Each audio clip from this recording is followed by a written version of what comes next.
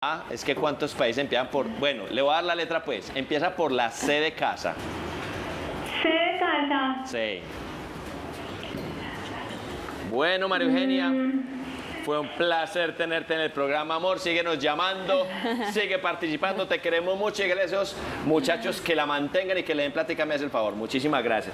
Bueno, Esmeralda, viene preguntas que me han hecho en redes, me perdona que saque el celular, pero por aquí le voy a mostrar. Una de las preguntas que es, ¿desde qué edad debo enseñarle a mi hijo el valor del dinero? Buenísima pregunta porque, bueno, mi niña tiene cuatro, el hijo de Aleja tiene un añito. ¿A qué edad ya les empezamos a hablar de, mira, esto es plata, con esto compramos etcétera, etcétera? Cuanto antes mejor, ¿cierto? Pero lo importante es que el niño ya haya desarrollado ciertas habilidades comunicativas para que él pueda expresar y tú te puedas comunicar con él. Cuando los niños tienen entre 0 y 3 años de edad aproximadamente se rigen por el principio del placer. Por eso hacen pataletas, por eso cuando quieren algo se revuelcan en el piso, pero en la medida que, que ellos van creciendo y que nosotros tenemos la posibilidad de comunicarnos con ellos, es importante. Y aquí, ojo, que es muy necesario, porque muchas veces nosotros lo que hacemos es transmitirles nuestros vacíos y nuestras carencias Sí. a nuestros hijos. Entonces, por ejemplo, un error que cometemos mucho los papás es, como a mí no me dieron tales cosas, yo le voy a dar todo lo que yo no tuve porque yo no quiero que mi hijo sufra lo mismo que yo. ¿Cierto? Esa es una Esa siempre nos esa ha pasado a todos, Y sí. lo que pasa, Alejandro, es que la mayoría de las personas aprendemos de dos maneras. Hay personas que aprendemos por imitación. Mi papá era ahorrador, era juicioso, era metódico con el dinero, yo lo aprendí.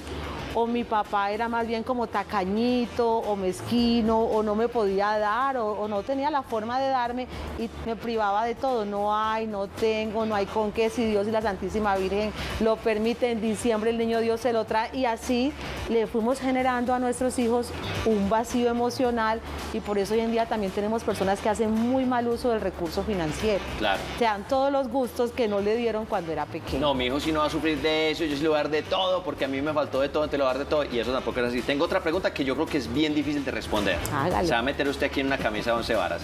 ¿Cuánto es el monto máximo que debo darle a mi hijo para enseñarle el valor del dinero?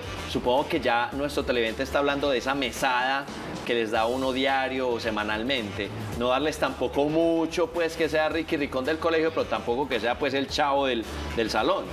Ok, ahí, eso, eso es una pregunta difícil, Alejandro, sino que eso depende de las posibilidades de cada papá y del entorno, Claro, ¿cierto? obviamente. Un señor que tiene un salario mínimo eh, y que paga todas sus deudas y hace pues uso limitado de sus recursos, pues yo no le podría colocar un monto. Exacto. O un señor que se gana mucho más del mínimo, pero algo donde el niño pueda hacer buen uso y no abuso del dinero, porque también si damos demasiado es malo y también muy poquito. Entonces debe tener un punto de equilibrio, pero depende de la situación de cada papá. Desde luego, bueno, estaba con nosotros Esmeralda que nos está enseñando precisamente a hablar un poco de, o entender un poco cómo hacemos para que nuestros hijos puedan tener ese manejo del dinero, puedan crecer como emprendedores, que ya vamos a hablar de ese tema tan interesante. Mientras tanto está en la línea María Alejandra con nosotros. María, bienvenida. Hola, buenas tardes. ¿Cómo estás, están? María? ¿Bien o no? ¿Tienes hijos? Sí, tengo un hijo. ¿De qué edad? Ah, bueno, está chiquitico, de 12 años. De 12, bueno, pero 12 Esmeralda es una muy buena edad para, para que ahí ya empiece a tener su propio trabajito, no que lo manden a trabajar, pues, sino que, qué sé yo, haciendo alguna cosa que usted ya nos va a dar algunos consejos de qué puede hacer para que estés pendiente, María Alejandra. María Alejandra, ¿lista para participar o no? Sí, lista. Bueno, ya te hicieron media tarea, María Alejandra, pero te la voy a volver a poner desde el principio. Nadie sabe para quién trabaja. ¿Dónde queda este primer lugar? A ver, ¿este dónde queda? Bueno, el primero es Guatemala. Guatemala, la pirámide de Danta en Guatemala. Muy bien. La segunda, ¿dónde queda este lugar? Jordania. Jordania. Esta ciudad se llama Petra. Hace parte de las siete maravillas nuevas según la UNESCO. Petra en Jordania. Listo, la tercera. ¿Dónde queda este lugar? Bueno, la tercera queda en Chile. En Chile. Es la isla de Pascua en Chile. Donde quedan estos monumentos que llaman los Rapa Nui, precisamente. Ay, Alejandra, por adiós. Te por amor a Dios. dos. Por amor a Dios. Ya, ya tengo el corazón acelerado. Yo también, yo también. Bueno. me también Bueno, vamos con la cuarta. ¿Dónde queda este lugar? Míreme esta maravilla de lugar. Me encanta. Sueño con ir allá. ¿Dónde queda este lugar? Ay, eso queda, eso queda. A ver, Wikipedia, vamos. Venga. Vamos, Google, Denle vamos. denle a mí también la frutica. Listo, listo, amor, no hay problema. Te voy a decir. Esto es en Sudamérica. No queda ni en Colombia, ni en Perú, ni en Chile. Eh, acá le digo. Ni en Venezuela. No, eh, ah, eh, está por ayudar. Bueno, ¿dónde queda? Ese, ese de pronto es conocido como el espejo de América Latina. Sí, señora. Sí, señora. Ay, eso es en Río. Eso es en Río de Janeiro. Ay, no. No, amor, no es en Río de Janeiro, amor. No, Río de Janeiro no. Tiene otras maravillas, pero este no. Alejita, gracias por llamar, amor, muy querida. Ahí está. Todavía siguen perdiéndose esto. Esmeralda, siguiendo con este tema tan interesante de hablar de cómo enseñar a nuestros hijos a ser emprendedores. Si mi hijo de 10 años dice, mamá, yo quiero vender manillas en el colegio, la respuesta es hágale o no, mi hijo, no haga eso, o venga, yo le ayudo con plata, o no, gánese usted la plata para empezar las manillas. ¿Cómo empezar ese proyecto? Alejandro, antes uno escuchaba mucho a los papás, no lo deje trabajar porque le coge amor a la plata. Sí, le coge la plata y entonces ya, ya no quiere se sale estudiar. del colegio. Ya no quiere estudiar. Eso es un error también y tiene que ver mucho con esas creencias limitantes con las que nos han formado con relación al dinero.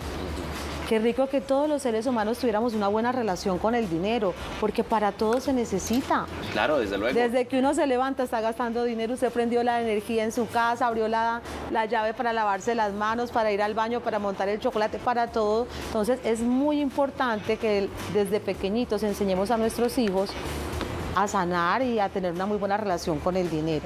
Hay que entrar a analizar si en el colegio le dan permiso, porque Sí, también... sí, no es ilegal la vaina, ¿no? Sí, sí, no es algo exacto, si va en contra de la norma, porque entonces también un empresario exitoso o un emprendedor exitoso tiene que aprender a formalizarse, a hacer las cosas bien, a no irrespetar la norma ni a la figura de autoridad, porque entonces yo quiero vender manillas en el colegio, pero si allá no se puede, entonces lo va a hacer de manera clandestina. Claro, claro, y claro. también es importante tener en cuenta ese mensaje que le estoy dando a mí, ¿cierto? Te vamos a vender, pero vendamos en una parte donde sí te lo permitan, aquí en el barrio, con la familia, con Claro. tus amigos. Ahí voy a otra pregunta, Esmeralda. Hace poco visité a un amigo que tiene una hija preciosísima, una niña ya de unos 7, 8 años.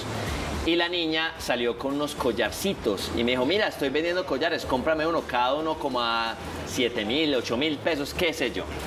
Yo le dije, claro, amor, con mucho gusto, ¿cuántos has vendido? Y no, mi papá le ha comprado a todo mundo. Entonces me contaba el papá, no, pues yo le compro todo lo que haga. Y yo le decía, yo creo que te estás equivocando, porque pues obviamente en la vida real eso no es así. Yo no saco un emprendimiento y mi papá me compra todo. ¿Qué consejo darle a los papás para que, porque a mí me pasó que yo tenía una tienda del colegio y todo el mundo me quedaba viviendo y yo llegué le contaba a mi mamá y mi mamá me ponía súper triste. ¿Cómo darle ese manejo de, güey, ya está vendiendo, pues vas a tener días malos, días buenos, etcétera, etcétera? Mire, hay varias recomendaciones, pero dos en especial te quiero dar en este momento y a todas las personas que están conectadas con el programa y es, una, los niños aprenden jugando. Y hoy en día hay una cantidad de juegos didácticos maravillosos que le permiten fortalecer. Yo no sé si yo puedo decir aquí títulos y nombres Claro, de juegos. por ejemplo, Monopoly. Ajá, sí, el niño aprende a invertir, a, nosotros- cobrar. El a- Monopoly es el gringo, a nosotros tocó el tío rico. eh, Es, muy lo mismo. es lo mismo, ¿cierto? Hay varios juegos ahorita en el mercado donde los niños aprenden jugando Sí. y se adquiere, pero esa habilidad o esa, ese don del emprendimiento, lo que tú decías, no todos podemos ser empleados, ni todos vamos a ser emprendedores, pero hay personas que tienen eso muy incorporado en su ADN, tienen como ese chip, entonces al papá es venga, yo le presento un amigo, venga, vamos a vender, es darle las ideas y también ella va a ir desarrollando otras habilidades. Entonces sabe, más que comprarle o, o generarle el dinero para que ella tenga ese hábito, sino es venga, escriba aquí cuánto costó la materia prima. Exacto, hacerle como el cuadrito de Excel. Vamos a hacer los costos, manera, exacto. eh, ¿Cuánto bueno. invertimos? ¿A cómo lo vamos a vender? O sea, es montar en la empresa jugando, pero en serio. hacer como ese Muy bien. laboratorio, Perfecto. un laboratorio de emprendimiento en casa, Así a es. través del juego, a través de los números, y eso también va desarrollando una serie de habilidades muy importantes y necesarias que ojalá todo niño tuviera, pero para ser emprendedor se necesita. Esmeralda, qué tema tan interesante y la forma en que tú lo explicas obviamente lo hace mucho más caro. Gracias por estar en el programa. ¿Alguna parte te podemos encontrar o si tenemos más preguntas? Claro que sí, yo hago parte de la Corporación Interactuar, que es una corporación que se encarga de apoyar a emprendedores y empresarios de toda la ciudad de Medellín, de Antioquia y tenemos sedes ya en varias partes del país y todo el tiempo estamos, ¿qué nos diferencia de las otras entidades que hacen lo mismo? Siempre estamos acompañando a nuestros emprendedores y empresarios con acompañamiento de valor. Tenemos cursos, charlas, talleres. Qué bueno. Entonces la invitación es que se conecten a la página, que ingresen a la página de la Corporación Y Interactuar. ahí encontramos toda la Y información. ahí hay y demasiada información de valor para todas esas personas que quieren emprender o que ya emprendieron. Y necesitamos ayudita. Esmeralda, muchísimas gracias por estar con nosotros. La esperamos por aquí próximamente. Claro que sí, muchas gracias.